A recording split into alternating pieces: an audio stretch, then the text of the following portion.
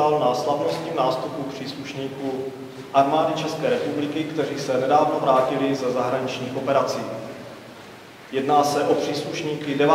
úkolového uskupení v Iráku, 23. skupiny zastoupení na velitelství mise KFOR v Kosovu, příslušníky 7. skupiny UNDOV na Golanských výšinách a prvního týmu EU for Humint, kteří působili v Bosně a Hercegovině. Pozor! Jsem velice potěšen, že vaše jednotky provází pochvala vašich mezinárodních partnerů za komplexní přístup a týmovou spolupráci. Zejména u vojáků 9. úkolového uskupení Irák si spojenci cenili vaši vysokou odbornou erudovanost a profesionální vystupování.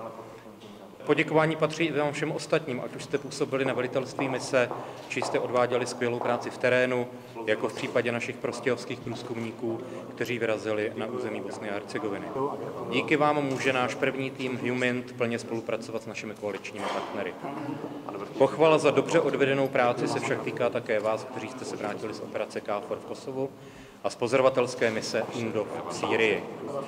Děkuji vám jménem paní ministrině za skvěle odvedenou práci a vítám vás opět doma.